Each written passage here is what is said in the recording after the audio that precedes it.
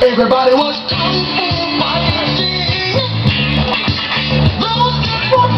Hey, give him a round of applause, everybody. That's tough. That's fast stuff. Whew, dangerous stuff, too. Ow. Whoa. Those things can really hurt if you do it wrong. One wrong movement and you're in pain for years. Ninth degree, black belt. Seventh degree, black belt. That's really fast, folks. One little wrong move and you're hurting for a long time. You use those on a person, and that person is hurt for a lot longer time. Woo!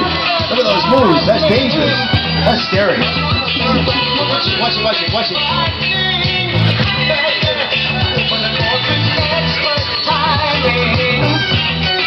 Takes expert timing for the nunchucks. Seventh degree black belt, AJ, coming on stage. Uncle Louie from Santana on stage. Hey, ladies and gentlemen, give it up for my son, Richard VanHart, seventh degree black belt. Oh yeah. All right. Hey, let me let me let me preface this with a little talk.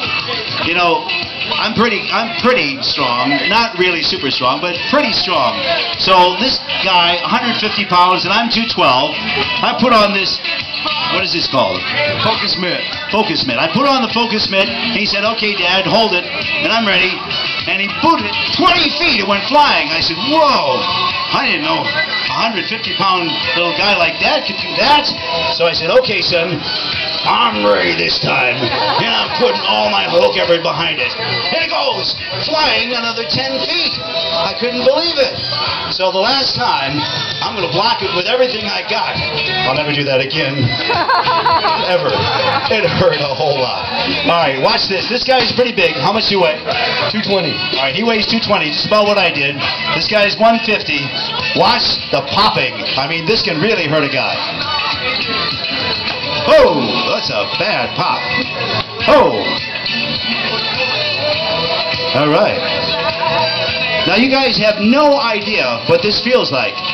But I challenge any big guy, any big guy, if you got the nerve, come on up. Hold the mitt for him. All right, here comes a oh. Here comes a big guy. Any any big guy want to come up here? We'll prove to you that we're not fooling around. This guy is a he's a trained killer, and that can really hurt. Seventh degree black belt, and I'm telling you, those. There you go. All right, give it up for them, ladies and gentlemen. In all their power and glory, they still have humility. That's what it's all about. That's what it's all